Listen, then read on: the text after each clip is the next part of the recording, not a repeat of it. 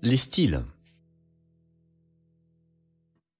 Voyons comment sélectionner et jouer des styles. Allez sur le mode Style Play. Pour sélectionner un style, touchez le nom du style et touchez le style de votre choix. Pour le moment, sélectionnez Birds Bounce. Et appuyez sur Exit. Chaque style comporte 15 éléments de style. Intro, variation, fill, endings, etc. Jouez un accord de 3 notes ou plus n'importe où sur le clavier, appuyez sur Start. Vous utilisez ces boutons pour sélectionner l'élément de style. À la lecture de l'intro 1, vous verrez que la variation 1 clignote, ce qui signifie que cette variation sera jouée après l'intro. Ici, dans le coin en haut à gauche de l'écran, vous pouvez voir le décompte des mesures restantes de l'intro. En passant de la variation 1 à 4, les parties musicales se forment naturellement et s'enrichissent à la manière d'une création de morceaux tout à fait classique.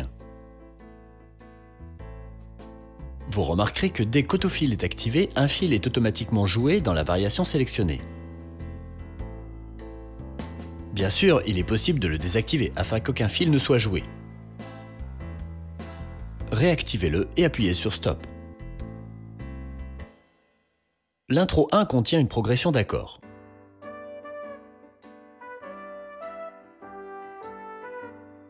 L'intro 2 n'a pas de progression d'accords, afin que vous puissiez déclencher votre propre progression d'accords.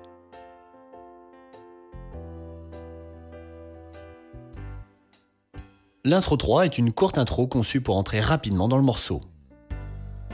Les endings 1, 2 et 3 fonctionnent de la même manière.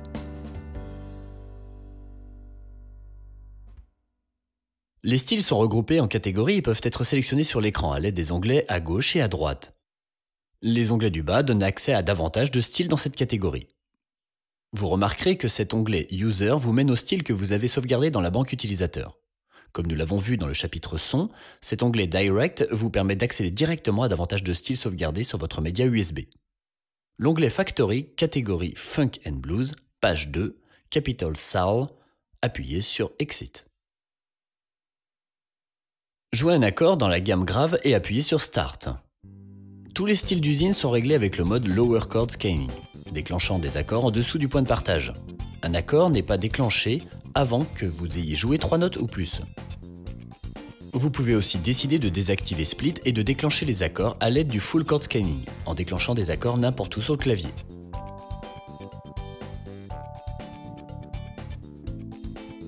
Puisqu'un accord n'est pas déclenché tant que vous ne jouez pas 3 notes ou plus, il est possible de jouer des mélodies et de ne déclencher de nouveaux accords que si nécessaire.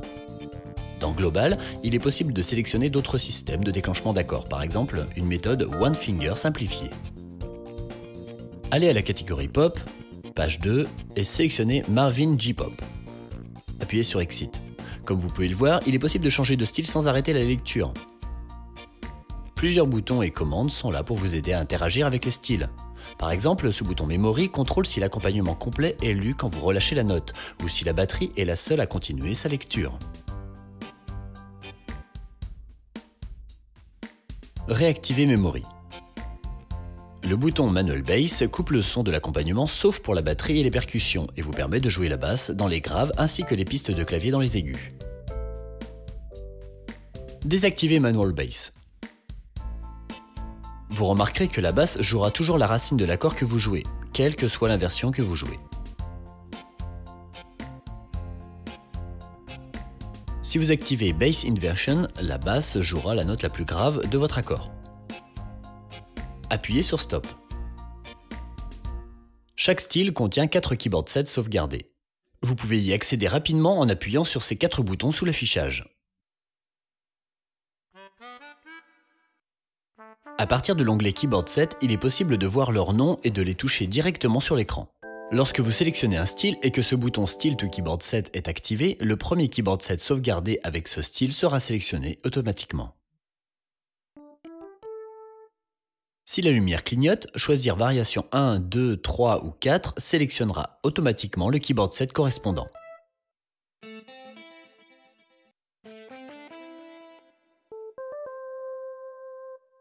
Si la lumière est éteinte, alors le keyboard set actuel est conservé, même quand vous optez pour un nouveau style.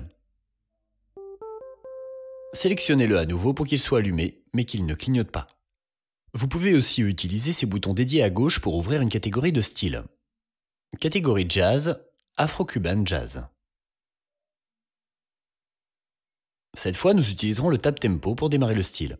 Tapez sur le bouton 4 fois, règle le tempo et démarre le style. Chord Sequencer vous permet d'enregistrer une progression d'accords et de la boucler. Appuyez sur le bouton Sequencer et maintenez-le enfoncé pendant une seconde jusqu'à ce qu'il s'allume en rouge. Puis pendant la mesure, avant le début d'une progression d'accords, appuyez à nouveau sur le bouton. L'enregistrement de la progression d'accords débutera au début de la mesure suivante. Le bouton clignote rouge pendant l'enregistrement. Juste avant la fin de la mesure, appuyez encore une fois sur le bouton. Le bouton est maintenant allumé en vert, montrant ainsi qu'il y a une séquence d'accords en mémoire. Appuyez sur le bouton et la progression d'accords débutera à la mesure suivante et bouclera, libérant ainsi vos deux mains pour jouer les pistes de clavier.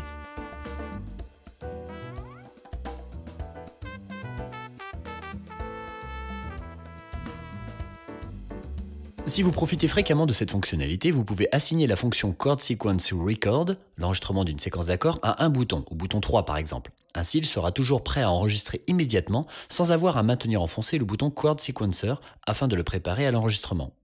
Le bouton 3 deviendrait donc le bouton d'enregistrement et le bouton Chord Sequencer deviendrait le bouton de lecture.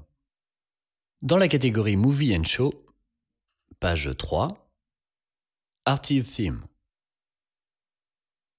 Jouer un accord. Chaque style comprend les réglages de ses boutons pad. Des sons peuvent leur être assignés. Des motifs rythmiques et des modèles qui suivent les accords que vous jouez et les synchronisent avec le style. Ils peuvent être lus une fois lorsque vous appuyez dessus ou bouclés.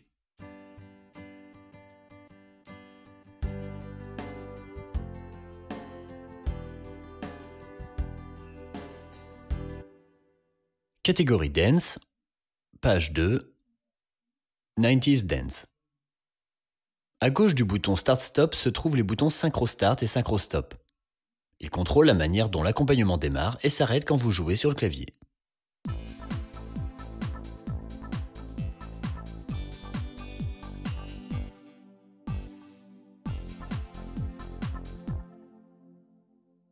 Désactivez les boutons Synchro Start et Synchro Stop.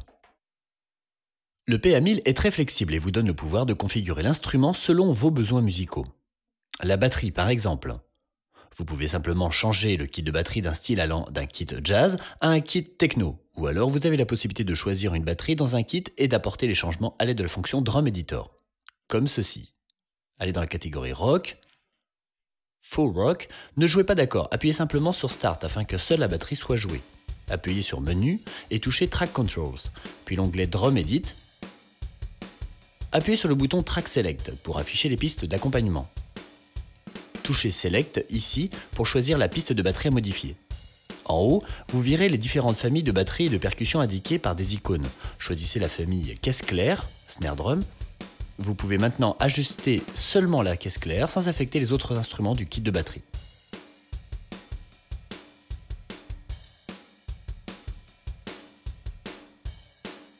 Appuyez sur Stop et Exit.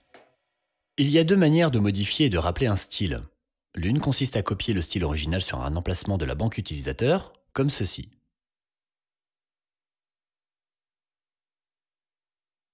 Puis apporter les modifications au style utilisateur. Cependant, la meilleure manière est la première, d'utiliser le Songbook pour personnaliser les styles en fonction de vos besoins et de pouvoir les rappeler d'une façon logique et efficace. C'est ce que nous verrons au chapitre Songbook. Appuyez sur Exit.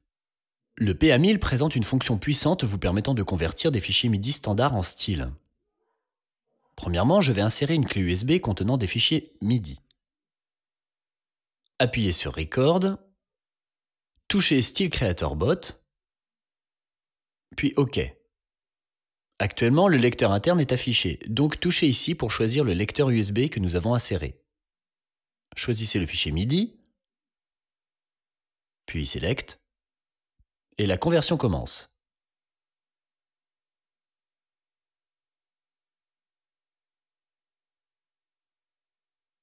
Enregistrez le style sur l'un des emplacements utilisateurs.